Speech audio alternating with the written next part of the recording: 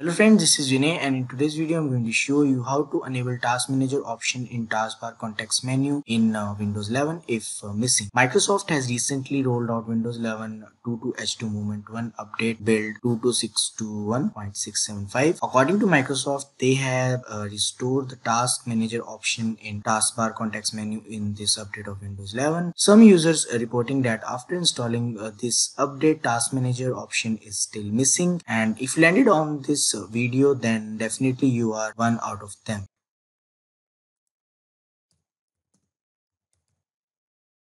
You can see that uh, I am running Windows 11 version 22H2 build 22621 0.675 and if I make a right click on the taskbar task manager option is missing. Fortunately it is uh, possible to force enable task manager option in Windows 11 taskbar context menu. And in this video I'm going to show you how you can do that. So first of all uh, you need to click on the search icon available on the taskbar and then you need to type reg edit. When the registry editor appear in the search results click to open it. Now here uh, you need to select hkey local machine system current control set control feature management override and then select 4 under this key you need to create a new key and for that right click and then select new and then select key. Now name it 18878698580 and after that you need to select this key. And under this you need to create two dword 32-bit values.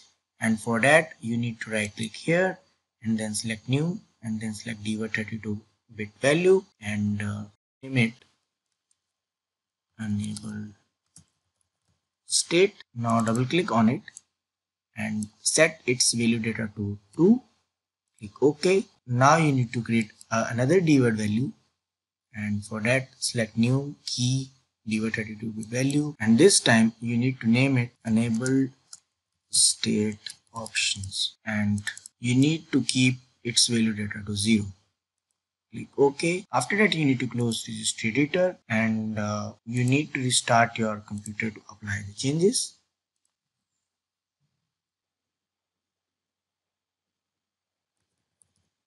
So after successful restart if you right click on the taskbar this time you will find task manager option accompanied by taskbar settings click here and this will open the task manager app. You can find registry key location and related information in the blog post listed in the description. It also has alternate option to enable task manager option in windows 11 taskbar context menu. So that's it guys. Let me know your opinion about this change made by microsoft. And if you find this video useful don't forget to like and subscribe my youtube channel for more interesting videos. Thanks for watching